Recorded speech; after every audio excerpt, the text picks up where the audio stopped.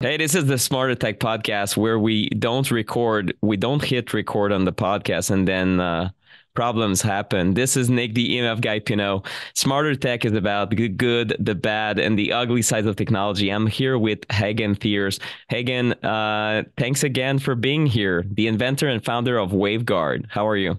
I'm very well. Thank you for the invitation. Thrilled to be here. Well, we started the conversation, and then uh, Hagen uh, was very kind with me said nick you're not recording. So we we did have some pre-conversation and this conversation is really about emf protection devices what they do what they don't do and also the state of the science around these devices. So we can dive i think right into uh, what is your definition of emf protection? Because we hear all sorts of claims um, there's subtle energy devices there's pendants, chips, so many different things that it becomes really nauseating looking at those. But as far as your understanding goes, maybe you can start with a little bit of your background, how you got into this, and then your definition of EMF protection. What does it mean to you? All right. So I'm coming from Germany and I have been diagnosed before I was 10 years old as electrosensitive. And my father, he was a mechanical engineer and also studied then at that time already to become a natural path doctor, as you would say in the United States. And um, he was then trying, you know, all kinds of devices and techniques and, you know, of stickers and pen and stuff, as you were mentioning as well, to see if there would be something of help. And since we're coming from a fourth line generation of engineers in my family, he was also measuring these things, and I didn't get any reliefs from my symptoms. And therefore, okay, we noticed like this isn't working, and there was no bettering coming out of that. And then we noticed, okay, there's some damage happening here. There's some problems which I'm facing. I'm not alone with that. And we don't find something which is working. And then we were starting our own mission to literally experiment at trying to find a um, legitimate path of how you can protect yourself from EMFs. And since then, I have been doing around like 200 uh, speeches around the world, have been doing this now 17 years and been doing a lot of uh, research, had my own research board with PhDs of biophysics, doing studies, international recognized, the first study ever on 5G, which has been published. And um, I'm just was trying to assess some baselines. What is EMFs really doing to us? What are electromagnetic frequency and fields really causing and harm in us? And therefore also giving us a possibility to study this further as a human race to have something which we can work with. Um, because a real mechanism of action was kind of missing from the aspect that we didn't know how to study um, how dangerous are EMFs.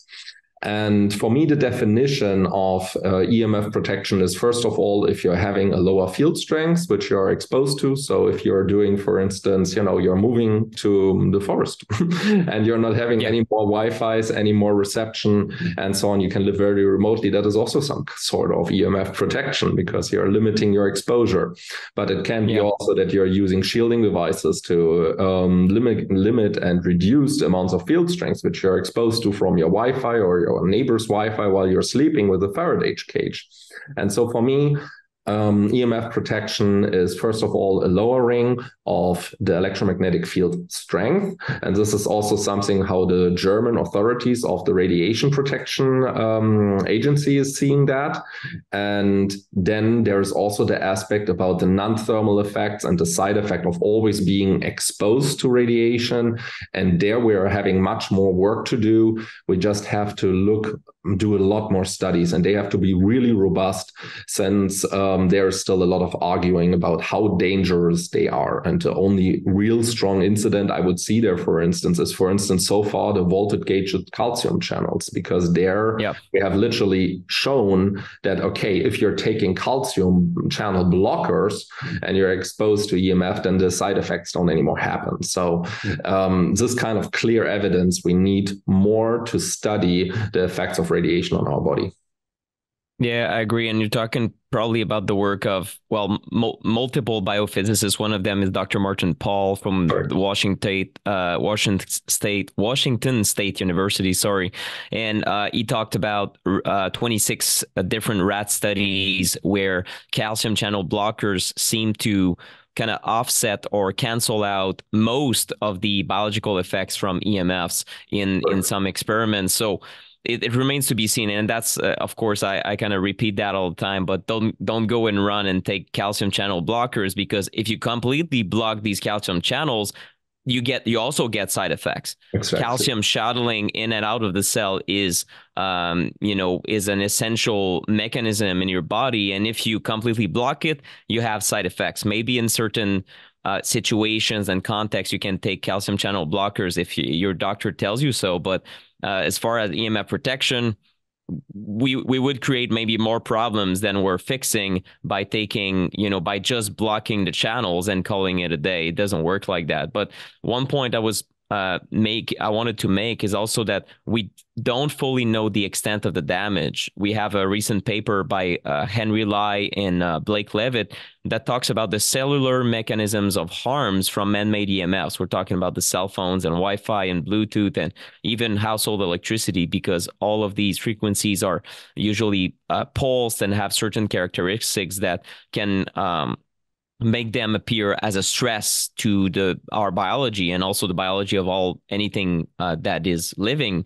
And uh, what they found is multiple different avenues of harm or mechanisms that could explain why EMFs are, are a stressor. One of them is through calcium channels, but there are other effects. And this paper is quite uh, it's quite dense for for my uh, pay grade. But uh, of course, people that are more versed into the the biological pathways will appreciate reading it. But the point is that we don't fully know how EMFs harm us. So therefore, when I see claims that, oh, my device protects you 100% against biological effects, I to me it's a red flag because how can you claim that if we don't even know the full extent of the damage, right? Some some things that they can prove if for example, well, brain waves are calmer when in the presence of a cell phone right yeah. the, these kind of things that are very specific and then i would be okay with them claiming uh, a reduction of biological effects, but it doesn't sell as much. Sometimes they want to say, no, it's EMF protection. They're going to use, to use that second definition and not the first one, not physical blocking,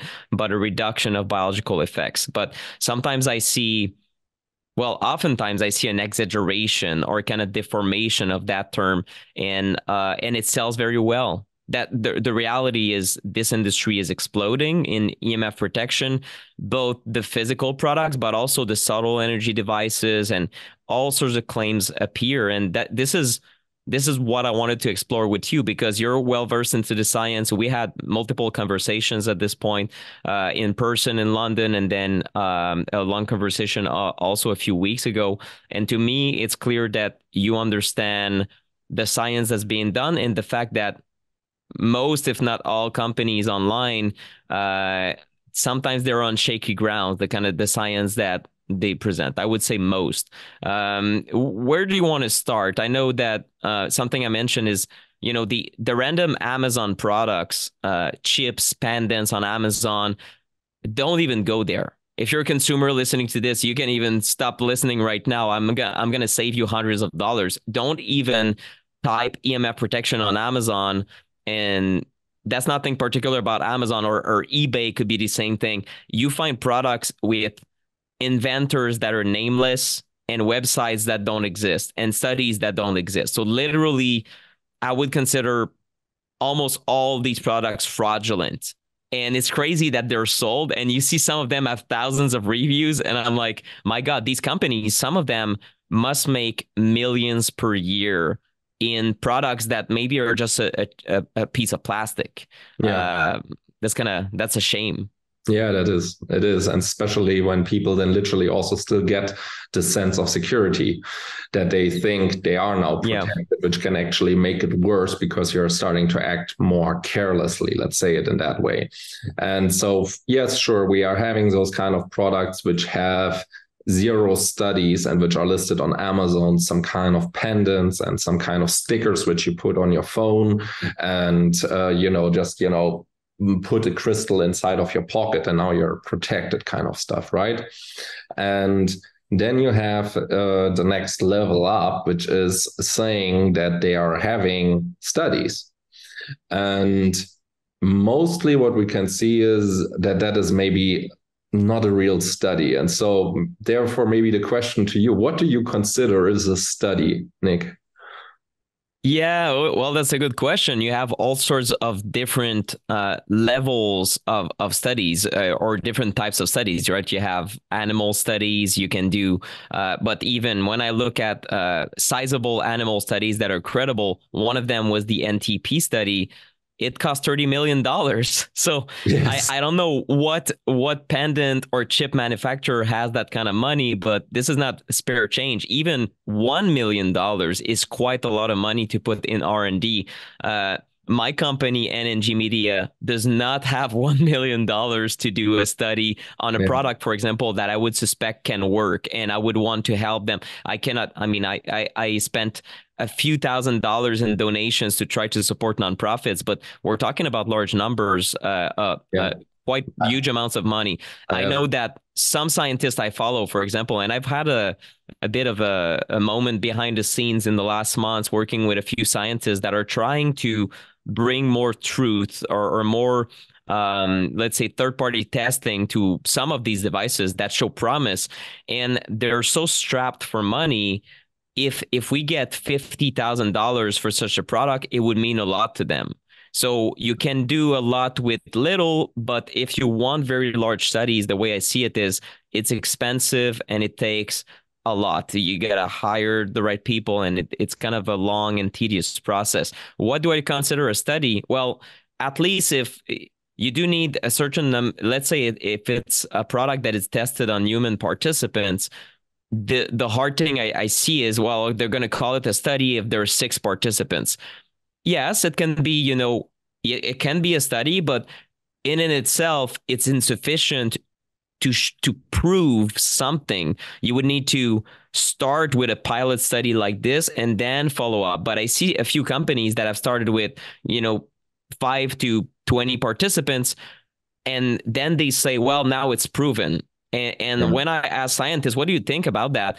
they say well you know the study is just it's it's underpowered so we cannot really conclude anything. We don't have statistical significance. In other words there's not enough participants to rule out the fact that the results were out of luck right? Yeah. out of randomness. So maybe we need a few hundred but this is w- where i see companies maybe they don't want to do the science maybe they don't have the financing but i see the claims that they make on their website where they say look we have this study 20 participants or 5 participants and therefore we can apply this to the entire human population. It works so yeah. this is this is where the communication of, sci- of science i think is poorly done so what i consider a study is anything that would show promise of uh, benefits or emf protection in the sense of a reduction in biological effects but in many situations it's a small scale study that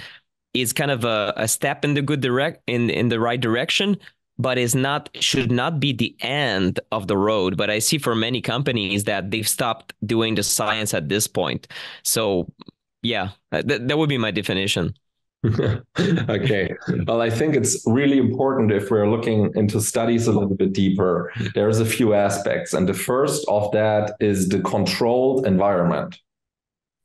And that's why it is so important to have a high quality institution to do it you're gonna you're gonna see and i have done i have almost invested a million into research of emfs and products and things like that. And i have worked you know like even with a national institute of reproductive medicine with the united states and done studies with them and so on. And there was some and what you see is everything is rigorously controlled you're gonna see that those people they are checking up with the participants. What did they eat? How did you sleep?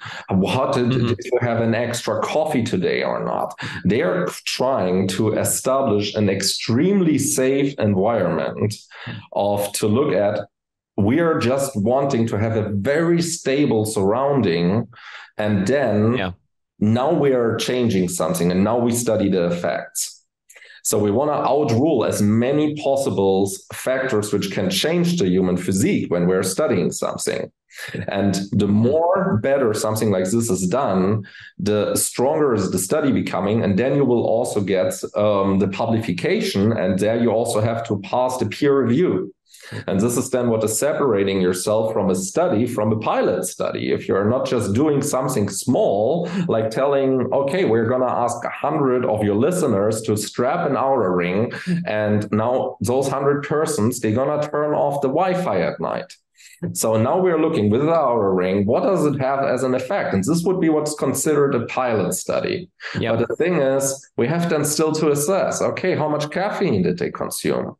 You know what uh, did they maybe then start to sleep all with a light for those people who didn't have any more uh, the wi-fi on? You need to outrule what is going on. You need to have a very stable yeah. establishment. And then also the placebo effect is one of the biggest things in any study that you need to look at. Are the persons believers of that is now something which is gonna benefit me and so this is how you're going about to start doing a study. And unfortunately, and I'm speaking here a little bit against the own industry which I'm in, but even those small institutions, and I've seen that myself, they are faking your reports. I'm not even speaking yet of a, that this is a study because I, what I see in our industry is mostly that there is not a study there is a report or there is a pilot study or something like that, but we're like far gone from a real study, which is published, which is done with a recognizable institution, and where there is an controlled environment. This is usually what's missing. And so, therefore, this is something which people have to be cautious about that they understand okay, this is not a study, this is a report, and we need some robust science about this. And what I found out is that if you're going to a company and this is what was setting us apart i had i have my own um, doctor of uh, phd of biophysics with me and we were speaking with the oldest and biggest research institutions of europe. And when they asked me how is your device working? We can tell them it's based on this physical principle. And this is what is giving them also the the belief to say okay now we have a reason to study this you know but you need to have also uh, first a pathway or physical principle which is telling okay this is actually what is going to happen you know this is what we're doing. We are lowering measurable the field strength and now we can measure the effects on that. And that's when you start to speak with some good institutions when you can show them something like that. But the problem is that small institutions, which is the ones which you have to pass through to get to a renowned and big institution like I have done studies with, like I mentioned, then you gotta go through the small ones and they fake your studies or reports or pilot studies, whatever you want to name them or brand them with or label them with, they are influencing results. And I've seen that myself, and it's just shocking because you're paying them to do research for a product of yours.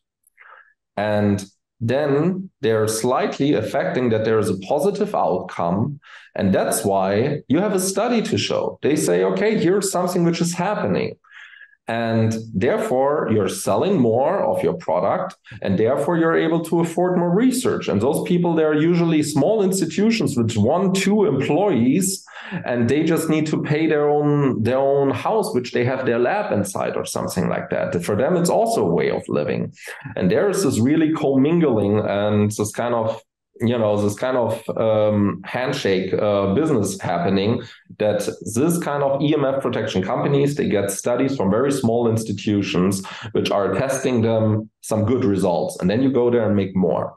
And this is how they stay alive. And this is something which is usually not legit. And that's why it's for instance for your listeners already a very good part to look if you're looking at some kind of study or report of any company look about the size of the entity which has done the study.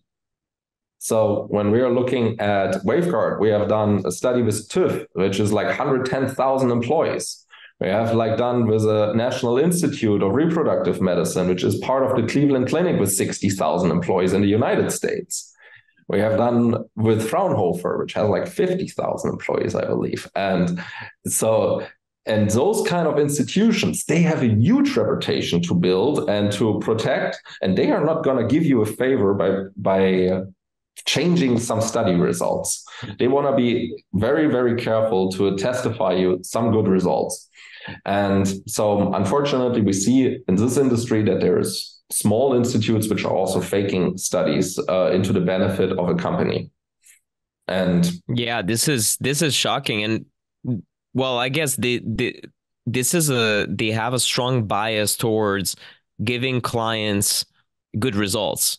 Uh, so even if so, there's there's fraud that is one level of involvement in kind of manipulating results, but just the bias could in itself be problematic because their survival depends on clients being happy and if they're very small underfunded they want to give clients kind of what the client is asking for. But that's science on demand. That's science to be purchased. And it just doesn't work uh, to be completely independent. And that's for it's sure that's a big problem. It's yeah. selling certificates um, basically yeah, exactly. My God. Uh, so when it comes to larger studies, and this is not, um, I, I'm not doing an, an official waveguard endorsement uh, or anything like that, and uh, but at the same time, I found that talking to you, I haven't been able to connect with an inventor that was making claims that actually, that actually, you know, done the work like you did which is with which tells you something. Uh, there's probably at this point a hundred different companies that have contacted me, uh, claiming their products is the absolute best.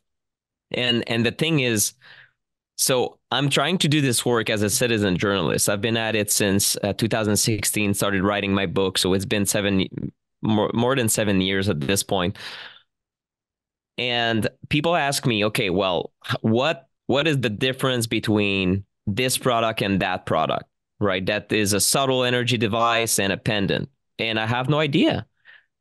And then i get anecdotal reports from electrosensitives that say oh you know what? This product in particular it's a pendant or it's a chip or it's a pyramid. It makes me feel so good. Okay well you know that's good but we cannot rule out placebo we don't know if it will help the next person and we don't even know if that's a real reduction in biological effects or a reduction in symptoms mm-hmm. right so we don't so so it's not rigorous enough for me to say well guys this is the ultimate device. And then when i see the the enormity around the claims these companies most of them are falling into something that is quite simplistic saying you know this thing will protect you. And they put it into words that i think in the end are very um, misleading to consumers. Mm-hmm. and this really what frustrated me. So in 2017 I was about to endorse one particular company that does chip that has been endorsed by a doctor that uh, and and and I decided against it. I just didn't feel good and I said, "You know what? The the the evidence is not strong enough." And um, I I want to talk about and another aspect of this, um, which is a lot of people in building biology or electrical engineers that are aware of EMF dangers. So that's a very small sliver of electrical engineers. A lot of them tell me, you know what? All devices are bullshit. All these EMF protection devices, they're all BS. They're all fraudulent. And I I cannot agree with that because you have certain things that seem to alleviate electrosensitivity. And we cannot rule out placebo. Uh, some of it is quite anecdotal in the sense that there's uh, maybe thousands of, of uh, people that did uh, review, oh, I feel better, I feel better, I feel better. Okay. That, there seems to be some mechanisms at play for some devices and i've also heard about scientific validation in in labs like at Psy-Tek labs in california that do subtle energy testing from some devices. But what uh, Dr. Gaetan Chevalier, the, the head of the lab, told me last year and really shocked me, he said the vast majority of devices we test seem to do nothing. and they tested a lot of them. And these manufacturers are quite unhappy if they give the results that are negative and one of them even uh, kind of threatened not to pay for the study that was already done because the results were negative. Your device doesn't seem to do anything. We haven't found any benefit on uh, you know the the changes in biofield in skin, um, skin uh, galvanic skin response uh, uh, blood pressure all of these things. We haven't found anything. It doesn't mean it doesn't work but what we are testing for doesn't change yeah so all that to say that I don't agree with my colleagues that that say that everything is fraudulent. I think this is quite simplistic, and I think that some technologies show promise. WaveGuard is one of them. I can mention biogeometry because I think there's some there there is credibility to it, and uh, I don't necessarily think it's complete protection either. I think maybe different technologies um, will uh, tackle certain aspects of EMF damage, like biogeometry is more like the subtle energy aspect to it. Uh, and some of the physics here are, are kind of emergent physics. Is it through scalar waves and whatnot? And it's uh, you can you can barely have a discussion ar- around this because even the physics are not established or are not you know widely accepted. So it's uh, it's difficult to talk about those. I want to dive into WaveGuard in particular I keep hearing about WaveGuard. Um, some of my colleagues think the products do nothing, right? But I, most of them that say that, I think they're still under just this, you know, kind of dismissive attitude towards any product that claims EMF protection or reduction in biological effects. And that's okay. But I think at the same time, uh, we should always I always want to stay in a in a position that is open for companies that actually try to do the right thing and and go deeper in the science. Uh, how I guess we're going to start with the basics. What have you developed with WaveGuard and how does it work? What does it do? Okay.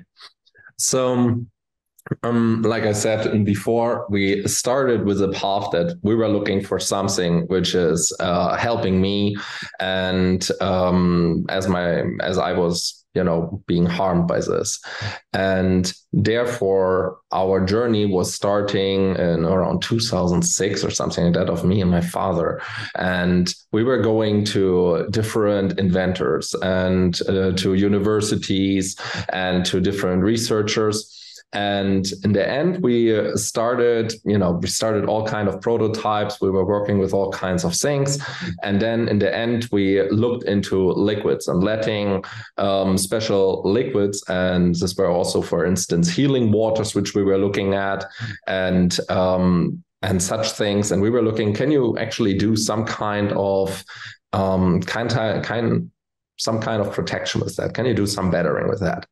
And we had a, group of electrosensitive people in Germany, which we were giving the devices to. And when we changed then and we were going for um, giving them some devices which used already this Qi liquid, which we are using today, then the people, they didn't want to anymore give us the devices back and they didn't want to give after the testing period. They didn't want to turn it back to us. And we were like, you know, we need to study this further. This is a prototype. And they wanted to buy it. I said, no, not possible. But you knew at this point that you were on to something. And I left home then. I was then in the nature for some years. But when I came back, I was looking further into this and I studied this uh, much more since I was aware, okay, how important this EMF protection is. And then we were looking, okay, what is this doing? And we found out that there is the science from uh, Professor Panagopoulos, which you are familiar with, which is called mm-hmm. polarization. So if you're letting liquids interact or passing through radio frequencies through liquids, then they are being uh, changed, that they are being altered. And he found out, okay, you have there uh, a variety of changes in that property if that is happening. And one of them is that there's not any more stress responses and negative health responses, um, for instance, to rice and mice and rats. And so we were then going to multiple technical institutions and I was then finding out okay, the devices are decreasing the field strength. So basically, you're taking like a field tri-field meter, but this just in a professional setup because a tri-field meter is always a bit a shaky kind of analysis device. It's the best what an amateur reader can use. But if you are going to a professional, you're going to establish again a safe surrounding, something which is good for measuring. And so what we were having there is like a shielded room that you don't anymore have any kind of waves inside of the room, all of them, which the meter is reading, but you're having a baseline established that you're saying, okay, now I'm producing in this room only a 1800 megahertz field strength. So basically like a mobile phone reception. Or you're saying, okay, now I'm only producing a 2400 megahertz frequency, which would be a Wi-Fi frequency. And so we were producing this field strength, and then you would put the device inside of the room, and then we would see that the field strength, which is received at the other side of the room, is dropping, which is lowered. So this is our first basic principle that we can say, okay, you put a waveguard device in your room and the field strength is dropping. Okay, and this is what the report is already terminating as um, uh, describing with the word okay depolarizing, and so this is already where it started for us we have this kind of proof that we say, okay, our field strength drops when you're putting a device inside of your room. And this is what is for most government agency considered radiation protection. That doesn't mean we're protecting from everything. That doesn't mean we're like we have to found the holy grail or something like this, but at least it shows it's legit. It's there, you put it there, and it lowers your exposure. So that's a good thing. Hey, let me interrupt this podcast for just a second. I want to tell you about one of the EMF protection or health supporting tools I really believe in and which also helped me finance the costs associated with creating this show. In the last several years, I said no to the vast majorities of companies who asked me to endorse their so called EMF blocking products. And there's a lot of products out there, including EMF blocking clay cases, platforms, clothing, you name it, that are very poorly designed and could in fact expose you to more EMFs when you use them. So essentially doing more harm than good. So which I don't want for any of my readers and followers. Shield Your Body is a company that is one of their rare exceptions and that does things the right way. The company has been created by R. Blank, who is the son of the famous EMF scientist Dr. Martin Blank from Columbia University. And uh, R is an expert at what he does and is also a true honest EMF educator that is completely aligned with my recommendations and values. So, yes, it's true that reducing your time of use from your phone and other devices and creating distance from them, like using speakerphone on a phone, for example, will always remain your first line of defense against EMF effects. But the reality is that certain products that are properly designed can help you reduce your exposure and your risks associated with this technology even further. So, Shield Your Body designs the only solutions I'm currently endorsing to help you carry your cell phone more safely. So, those so called phone cases. And to learn more, visit shieldyourbody.com and enter the coupon EMF Guy to get 15% off your entire order. That's shieldyourbody.com with the coupon code EMF Guy. Back to the podcast.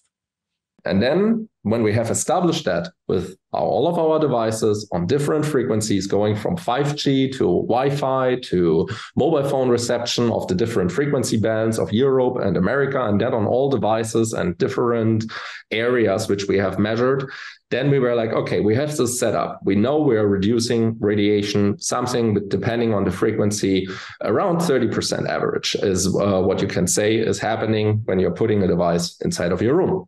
And so then we see, okay, now let's look at the biological effect. Since we know if we are depolarizing, then the biological side effects should be less. And this is when I have said, okay, and this is what we had our beginning of our talk with now we have to establish a baseline. Now we are looking at what is it doing, what it's left to us, and when we are still using this radiation, which is left inside of the room, and how harmful is this? And there I found out, for instance, and I built there a study which was on wound healing, um, wound healing of the human body. And we have simulated that on cells. So that is nice because, again, like in the sensor measuring of the field strength, we don't have to have any kind of belief, placebo effect stuff, which can rule in there and has an effect on us. but we were looking at skin cells.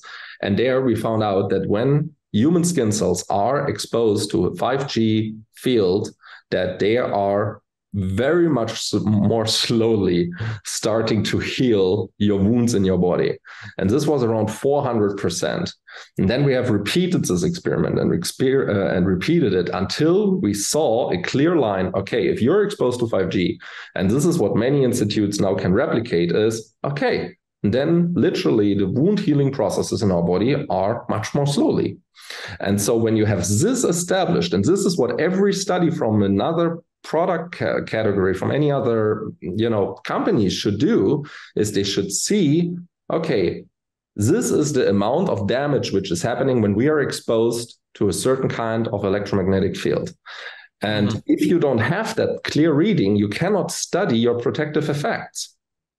Because otherwise yeah. otherwise you can only say we're doing something. If we're looking at I don't know, let's say oxygen or, you know, oxygen or HRV in our body. We cannot say if I put my device, I have never claimed uh, um, something about HRV, for instance, with our device. But if I would find something with that we are enhancing the heart rate variability with our device, then there is a question what does that have to do with EMF protection? Maybe good point. That's yeah. the thing. And this is what it's making me mad about this industry is that we're literally, most companies, they're trying to prove that there is a fact of their miraculous plastic heart. And this is where it gets a little bit absurd because we're not trying to prove radiation protection. We are trying to prove that it's not a scam. And these are two different things. so, yeah. And this is where most companies fall short that they don't take the time, the effort to go to a high quality institute and start to establish we found EMFs are dangerous and we can repeat this and repeat this and we encourage everybody to repeat it. And you'll see if you do the same experiment, you're going to find the same result. The healing processes of our human body are taking longer when we are exposed to 5G versus no radiation. And this kind of surrounding and baseline you need to study. And this is what we have found, what we have um, what we have repeated and what we have then published in the cell biology journal and where we found out okay also with our device this healing processes which were taking longer are not anymore taking so long when our device is there but not by 100% not by 99% but we found it was like 85% and this is for me where it's legit you're saying what it's actually doing.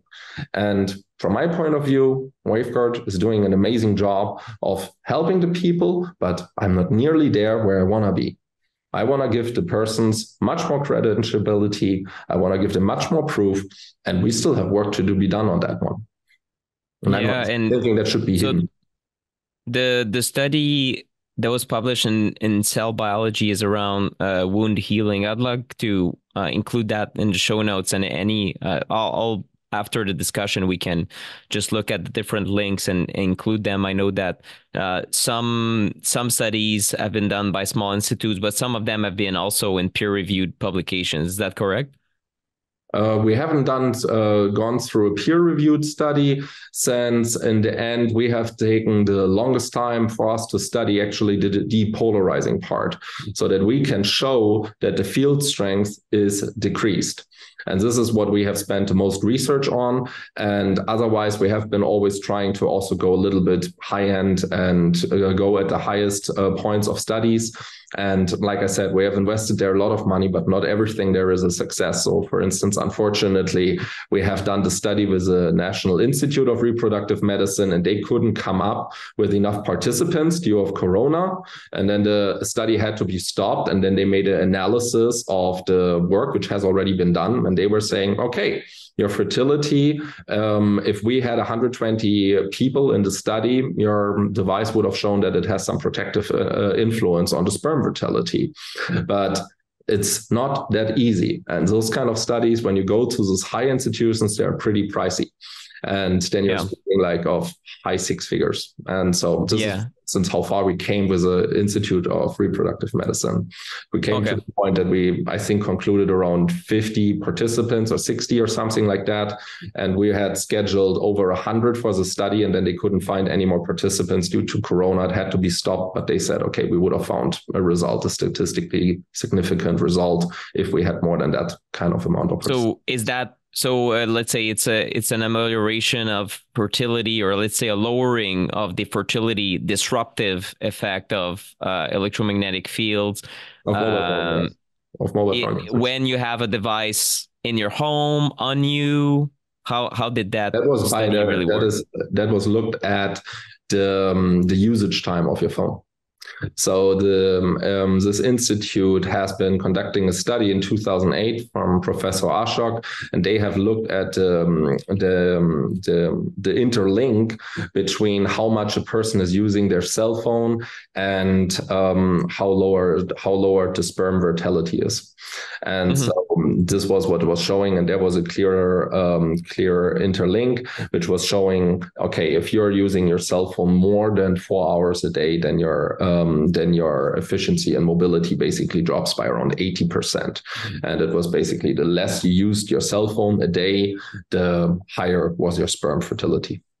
And what were you studying with your devices? How uh, how how was it designed in the sense that eh, are, are your devices can it can they be worn on the body or is it that people we had, we are, had them use, are near the yeah, yeah. We, we had them use the um, the donors. We had them use our device um, during um, period of time that they were carrying the device with them, and we were looking uh, looking if the persons had uh, then the increase in the sperm fertility, and we were looking okay. also at the interlink between um, the cell phone usage of that.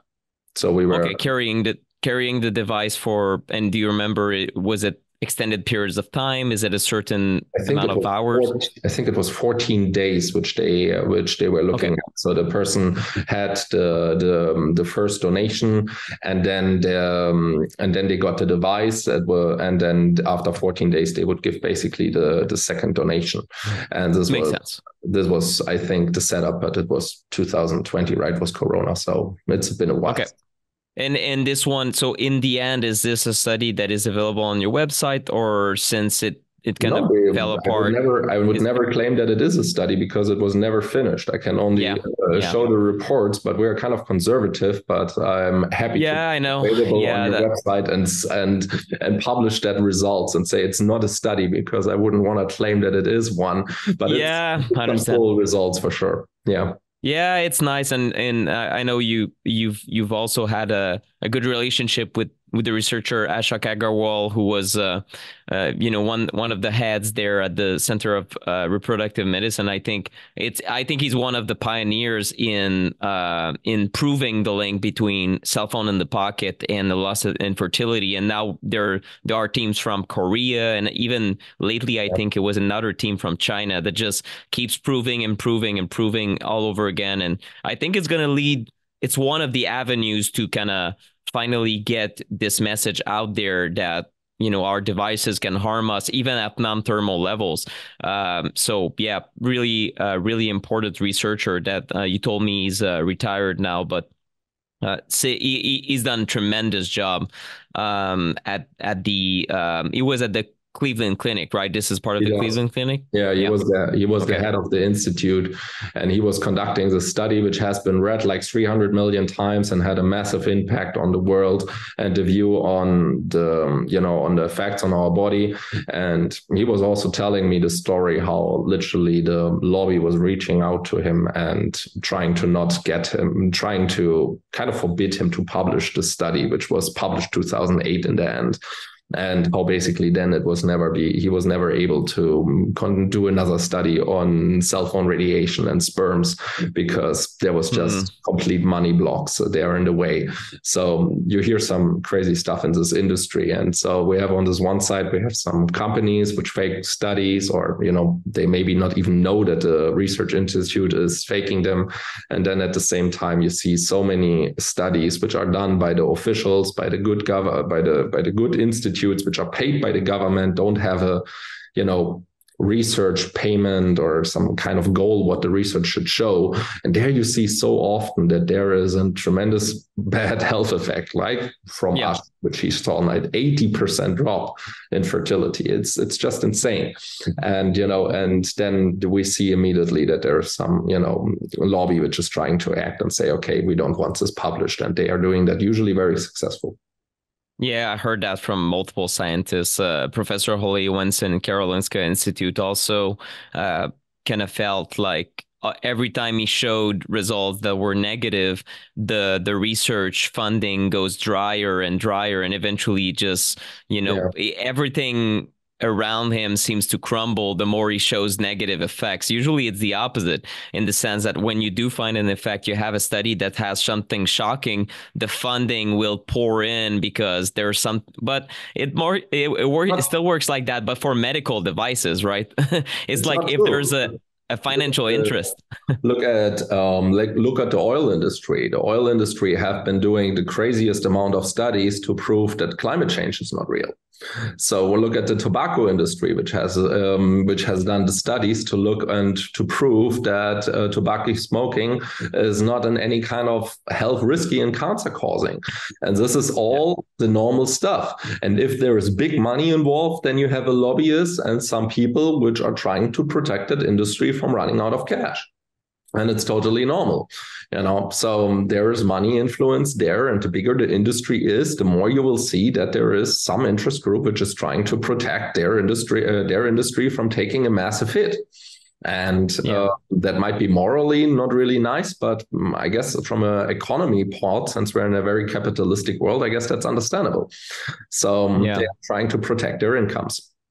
Yeah, I, I want to go back to um, the depolar, depolarization and how it works because one of my colleagues is a big skeptic towards the devices. I'll, I'll, I'll just keep it at that. He doesn't believe uh, anything from your devices. I don't agree with him personally. I'm, I'm, you know, I'm more. I stand in the middle and I look at uh, what has been shown, but in in in the test results that you have one of the is is question is what if we put the device not in front of the transmitter but to the side right? So it yeah, does it reduce field strength dir- directly if it interferes with the antenna is his question. Uh, or would it be would it do the same thing if you put the device in a corner for example this is what we have done and what we have shown. And so obviously, if you put the device straight inside, the field strength is lowered quite strongly. And when we're having the device not in between, but somewhere else in the room, then the average reduction is 30%. This is what I was naming before. This is 30%. And um, this is that. So we have done multiple positions uh, inside of the room at different frequencies. And what we have found is that, okay, even if you place the device uh, somewhere else inside of the room. So basically, you're sitting somewhere in the living room, and your the device stands in the kitchen or something like that, or in your bedroom, and you're closer to the Wi-Fi exposure. We have shown even in that scenario that the field strength is dropped, and we can show that by around thirty percent. And this is really a question where they have asked us, how do we do that? because that's when it starts to get really interesting. But at that point, we don't have to explain because we have measured that. And at this point, there is no more believing or this the things we can show. We put the device somewhere in the room and the field strength is dropping. And that is not if you're just putting it in between a transmitter. Yeah. And for sure. I mean, if people do that at home, it's I, I wouldn't really encourage users to kind of test the device by themselves because let's say with a tri-field or some other amateur meter the if you're in a city at least if the the ambient levels are very high it, it would be hard to test and actually conclude anything uh, in that kind of environment which is quite chaotic uh, that's just from my it, it sometimes in montreal for example i have a hard time telling if something is on or off when it comes to bluetooth because it's relatively low power and my meter could peg in the orange to red zone all the time. That's just from the towers. Yeah. so uh, sometimes so it's riddled user testing amateur testing is riddled with errors and the possibility of kind of concluding the wrong thing. So i have i do have to mention that. Uh, as far as the mechanisms, I'm I'm just how how can we picture the mechanisms of how it's doing what it's doing? I know um, some of the science is probably proprietary. Is it that um, it's attracting fields?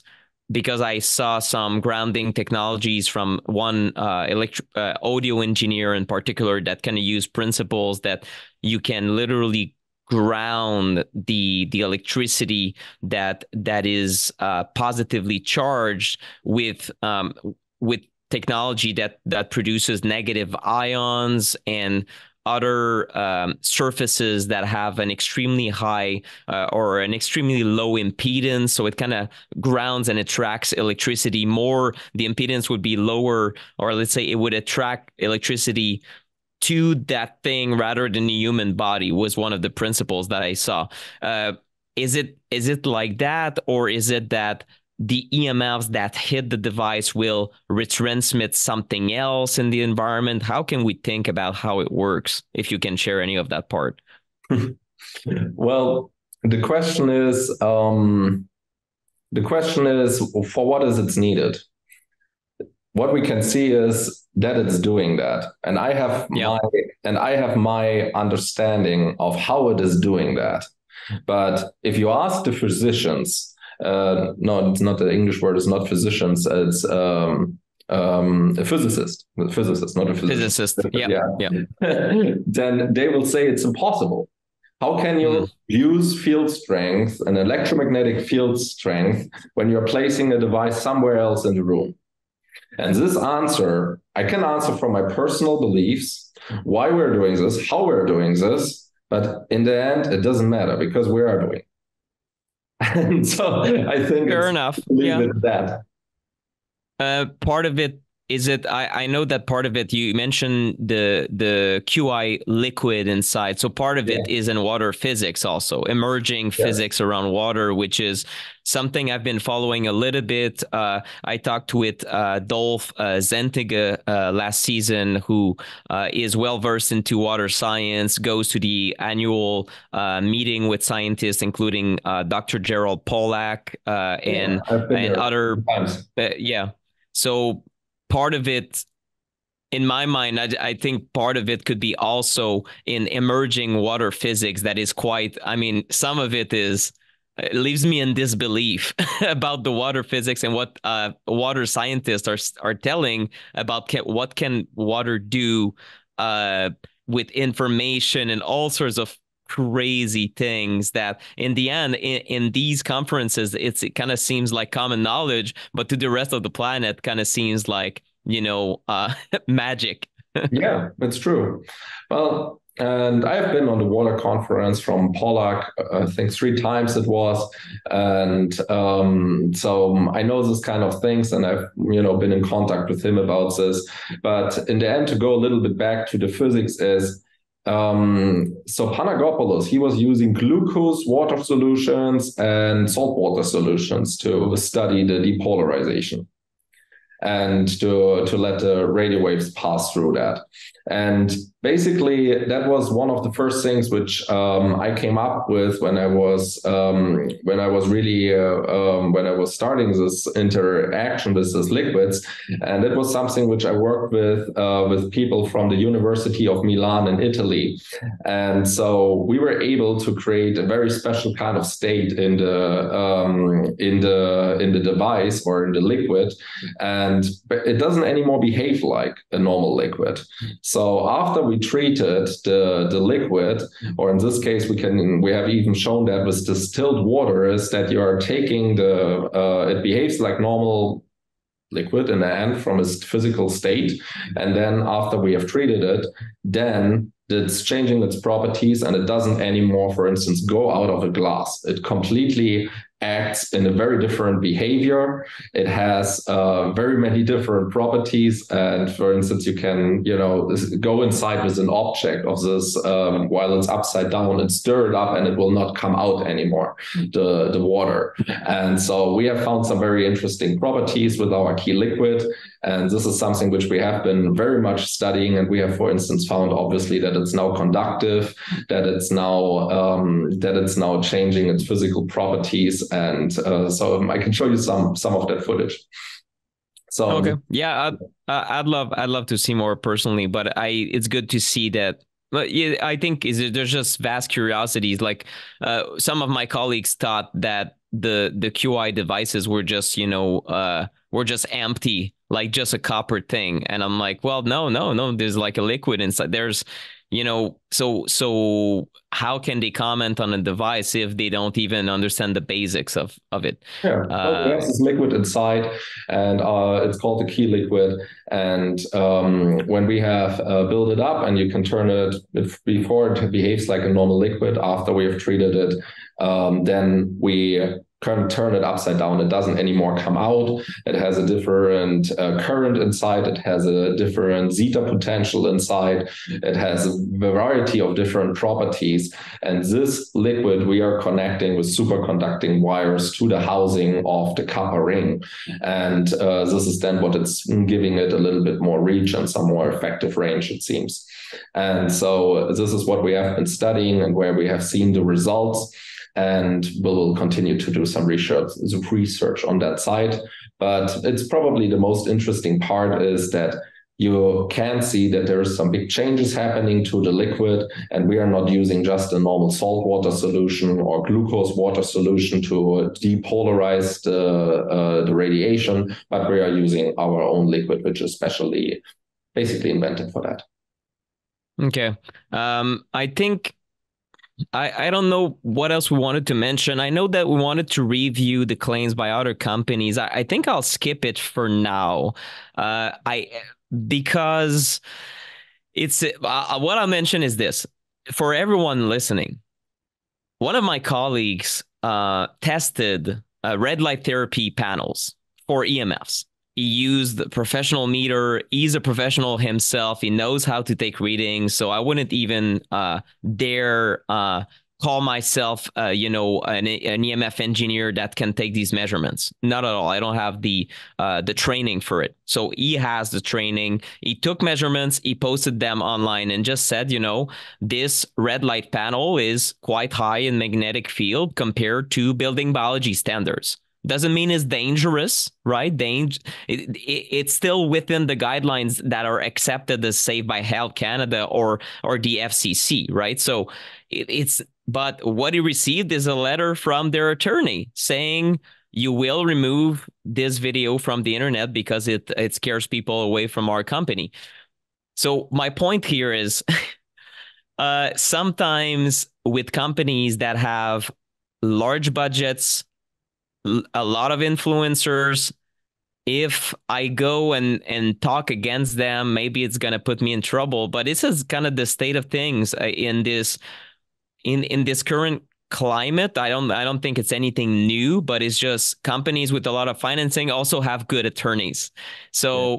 I don't know if I want to talk about one company in particular this time around, but I'll consider it. I know, well, and and also. You know, it's it's it's crazy that I say that because it's a little bit of self censorship. But what what can we look for? Let's let's put it this way: What can we look for in a company? And you mentioned some of it, but maybe let's do a summary. When people try to analyze the science that has been or has not been done by a company that claims EMF protection, what should we be looking for? Well, let's let's look at um, at maybe a guideline. What do we find? I yeah. was going through um, a variety of companies just today again to you know make sure I'm up to date, and on three companies, I found the first thing I found dark field microscopy. Yeah which Very is common. looking at red blood cells under a dark field microscope and then saying, okay, is this clumping effect that basically the plates are sticking to them to each other, this is not anymore happening. So, and this is when you go on multiple of the famous companies which are um, which are on the internet, which are uh, saying we do EMF protection. They're claiming but the question is, what does that have to do with EMF protection? If we would even consider that it would be a scientific principle for investigating that, which it's not, but let's leave that apart. you know, let's say it's a, a, well, a verified and a traditional scientific method to study things with a dark field microscopy, then we would have to look, okay, what is it meaning? It means the red blood cells, they're now more apart, and that's why they have more access to oxygen. Okay, well, there's a variety of things which are reaching that. A good breath work, a good glass of water is reaching that. Maybe for all what we know, using a more softer toilet paper is reaching the same thing. You can see a change in red blood cells very easily. It's mm it's the it's what we're seeing uh, but the thing is you're gonna have a little bit more oxygen flow inside of your body but what is that saying to you about emf protection quite nothing well i i, I guess one thing to I, I think um, if i can just interject here some scientists have advanced the idea that cell phones or or wi-fi in some experiments seem to cause this rouleau formation, kind of loss of zeta potential in red blood cells, so they clump together instead of being separated through charge. Yes, but it's it's certainly not the only um, the only part that damages. And your point is very valid that if if you just have a, a quick experiment, but you didn't account for you know a difference in breath. Did the person go outside and take some deep breaths? And is it sufficient to say to change the zeta potential? I i don't know. I know that dark field microscopy or or, or, or live blood analysis is kind of riddled with errors of interpretation also or so i heard. So it's not the best. If you, if you go on PubMed and you're giving a dark field microscopy and i have just done that today and you look for radiation or anything in the relation of dark field microscopy and looking at radiation. You don't have one study in the whole world which has been done on that. There is not. There is not one study on this which is saying that this is anything verified, that this is a valid method of looking at the effects of that. And it is important that we are looking at we're trying to protect from something real and it's invisible yes but we can at least measure it. It's not anymore like we're looking at black magic in the middle ages where you had to believe it. We have measuring tools. We have yeah. certain abilities to study things. And this is what i would encourage people to do to also use somewhat your common sense. I was so shocked when I found out the other week that nowadays there is a company which is sending frequencies to you, which are supposed to protect you from electromagnetic fields. Like what am I? I'm a I'm a I'm a father of two kids. Would I? It's like imagining myself that I would say, okay, you don't anymore. I don't anymore need to use sunscreening for to protecting my children from the sun radiation because now they're getting a frequency sent and it's like, I wouldn't trust this kind of things. And since we're speaking of something which is by hundreds of studies dangerous, we need to take it more seriously. And we cannot just say, I wanted to help. It's not good enough. You know, and you were saying you had a, a very long um, word uh, parts before, uh, which I didn't want to interrupt. But how do we know that this is working and that people feel better about it? Well, let's look at trance. Let's look at um, hypnosis. There has been any operation except a full heart transplantation has been done under hypnosis as the only way of anesthesia. So that means the persons didn't scream out and died because of high blood pressure. You can do brain surgery. You can amputate a leg under hypnosis because your body doesn't anymore recognize the symptom of pain. Mm-hmm. which is which is true and this is validated. You can study that in russia as part normal medicine in the in the university. And this is validated. This is not some theory. This has been done. There has been every surgery performed under hypnosis except a full heart transplantation the only way of anesthesia. But the leg was still gone afterwards so just because your blood pressure doesn't skyrocket anymore or you're not you know freaking out or not feeling pain anymore doesn't mean you're not being hurt and this is something which is really important to understand. And for me, this is what it seems to be doing. Some of those um, subtle energy devices. They're like a, something which is telling you and signaling your body to say, calm down, relax. This is not as bad, you know, like, and to relaxing you, looking into heart rate variability, looking at having a higher amount of oxygen maybe still in your body. But it has nothing to do with actually keeping the damage of happening to your body, because therefore there is not even an explanation how that is supposed to be possible.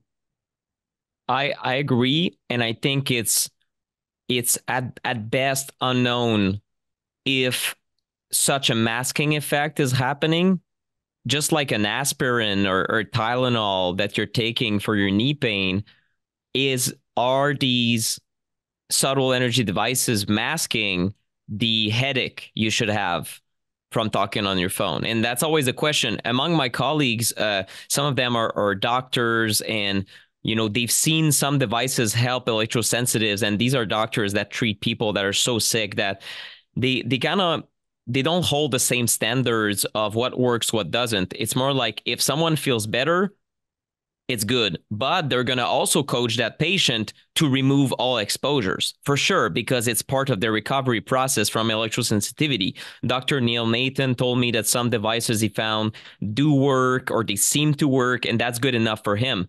But he doesn't consider them EMF protection and certainly certainly not turn you into some kind of a invinci- invincible human being towards EMS, which is one kind of what is claimed in many situations.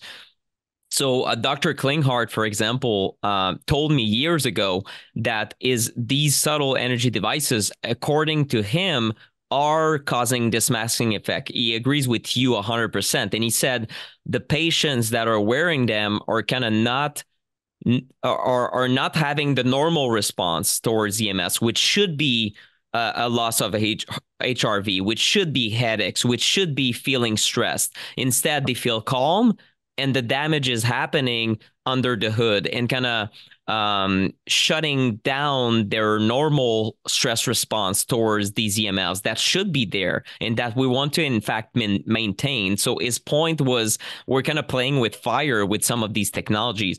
I cannot say this applies to all of them, but it is a fair discussion to have uh, when you're using those. And for sure, think about the behavior. I mean, if if I don't know EMS much, someone tells me you put something on your phone and now it's safe, I'm going to start talking on the phone all the time and will not be stressed, will not think twice about this exposure. But my point lately has been well, I don't want to be the manufacturer of this chip because what if I still get, get brain cancer, even with your chip on in 30 years from now? Who's liable? Is it Apple that created the phone or is it the chip manufacturer that assured me that I'm protected?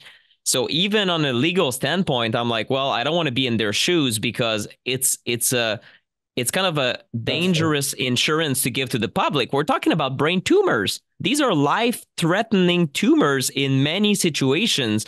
And you're telling me, no, no, no, you're protected.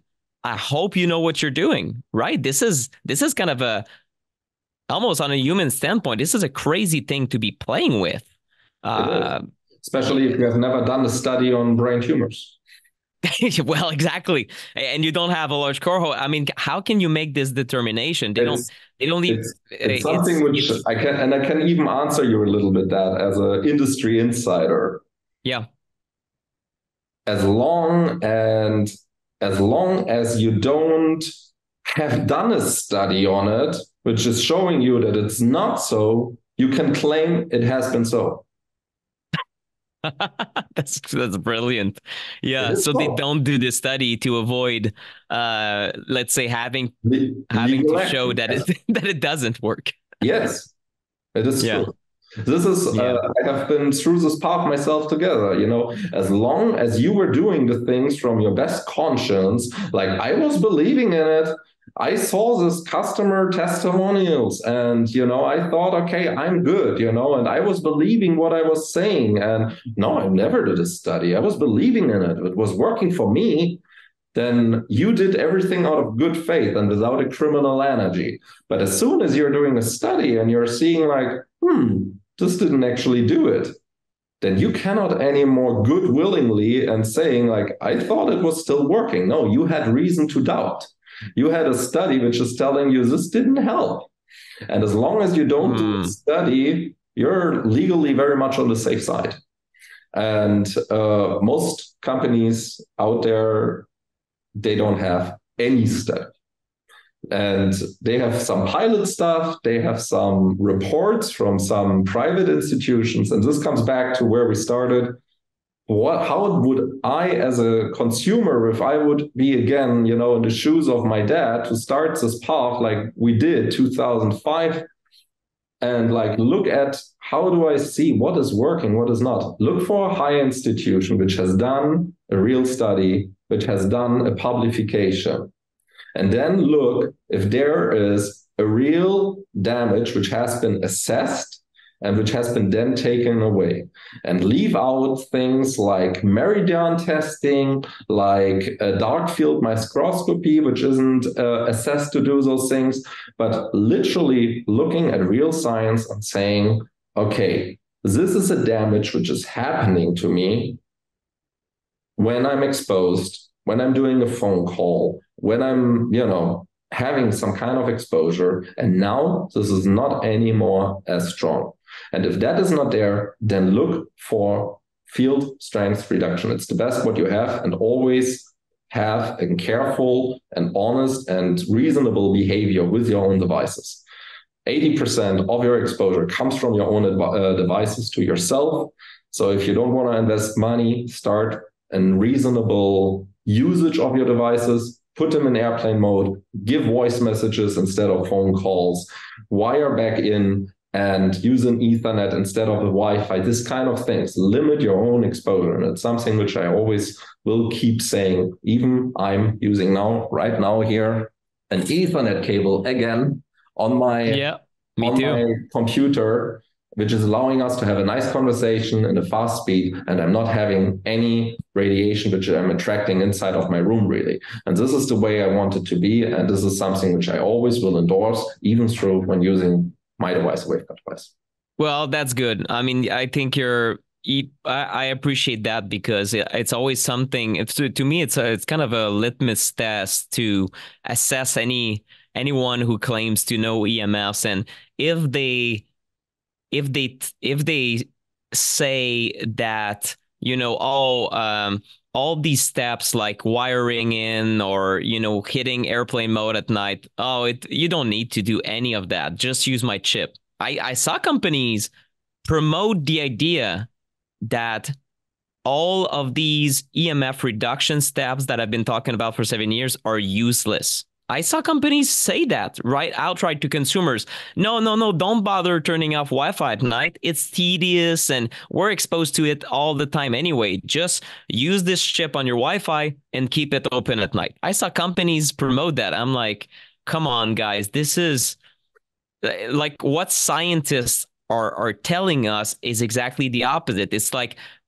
first, minimize exposure from all sources as you can in a practical manner. It's pract- it's easy to turn off Wi-Fi at night. You don't need to even think about it if you put it on a timer. So why wouldn't you do it? Encouraging people to expose themselves more to me is completely cre- crazy. So that's these are examples of of crazy companies, but I think it gives this conversation gives a a good ballpark of to people of what to look for and I hope to in the future maybe publish more blog articles analyzing certain studies, analyzing what Waveguard is doing, and and kind of you know scru- scrutinizing. It's it's it's okay and it's good to scrutinize, and I haven't seen a lot of it done. This interview, I think, is is part of this movement to kind of raise everyone up in their efforts to prove what devices do or don't do.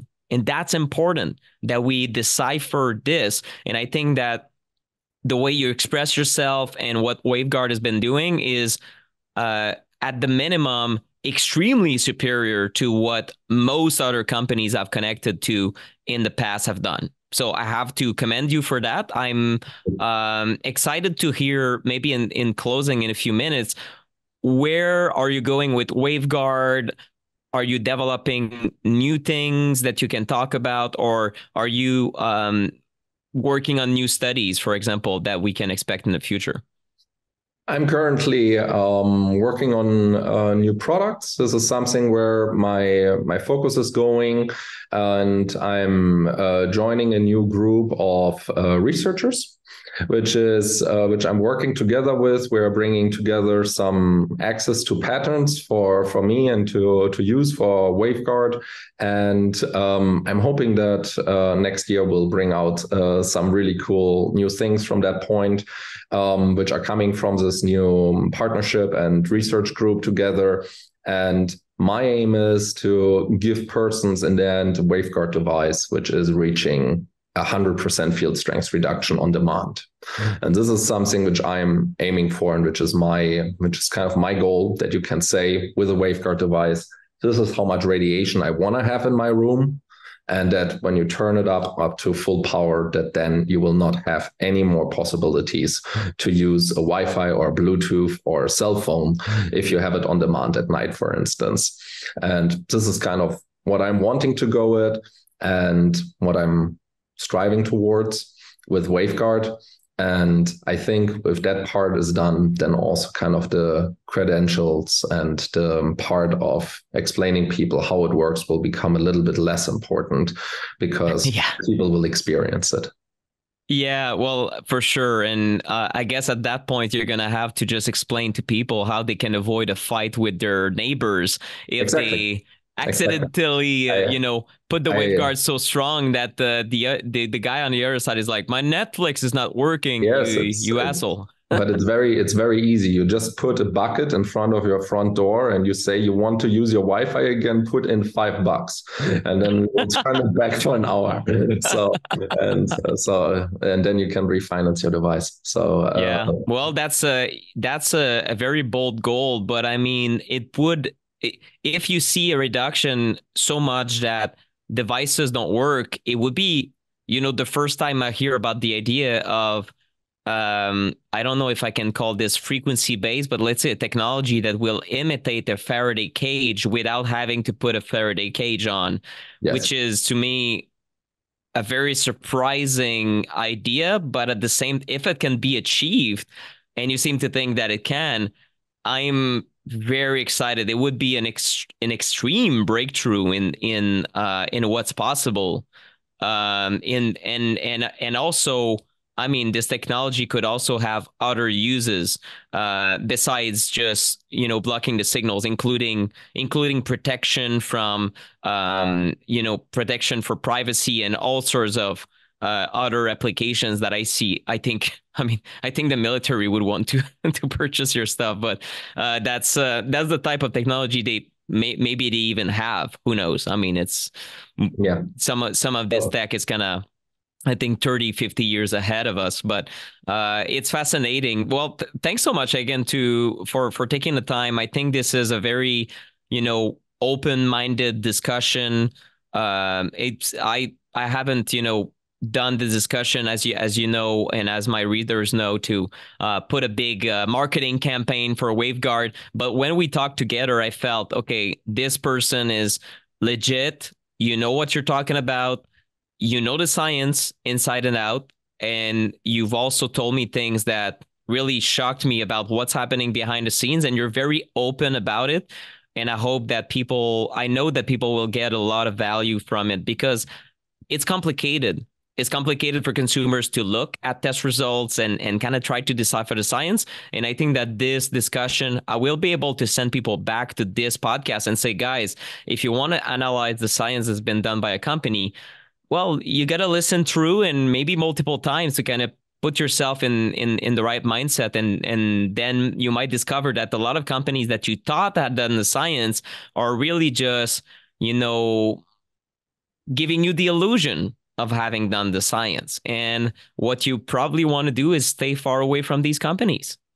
No, and always use first of all your your good um, human instinct and you know something about what it's supposed to do. If you're putting a sticker on your device, just think yourself. You know, like okay, would I put a sticker on my son to protect him from sunburn?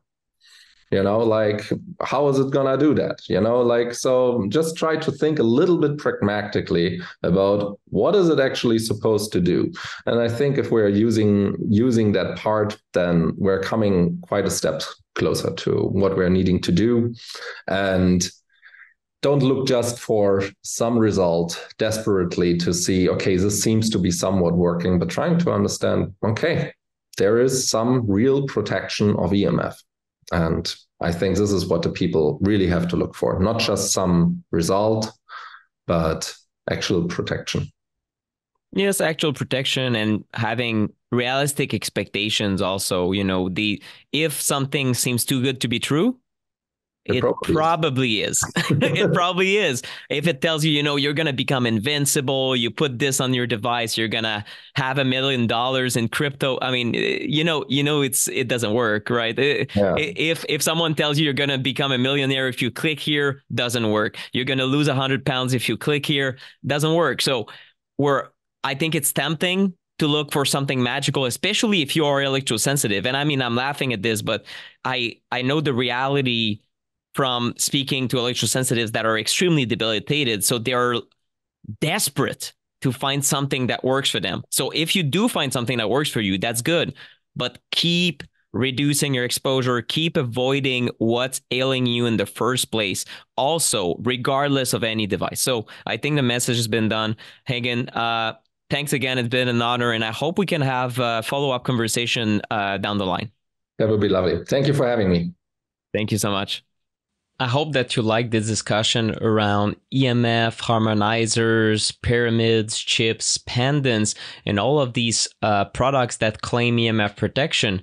And as I explained multiple times during this podcast, just to be clear, my goal with this discussion is not to endorse the Qi devices from WaveGuard or put them on some pedestal, but to highlight how a lot of companies who put claims of EMF protection on their products really do not hold well to scrutiny. And I encourage everyone to do their due diligence, look at the websites, look at the research, ask questions, and identify the weaknesses of the research to realize in the end that many companies offer some kind of insurance uh, about what they can prove and that insurance quickly crumbles when you look at the actual things that they've done to prove that their devices indeed work.